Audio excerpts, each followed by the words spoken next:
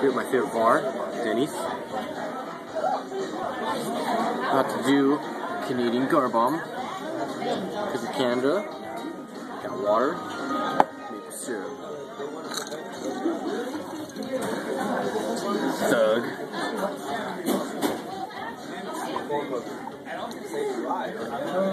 Go.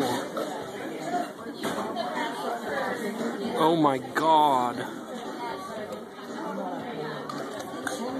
He just did that. Hits you hard, bro. Just don't yak.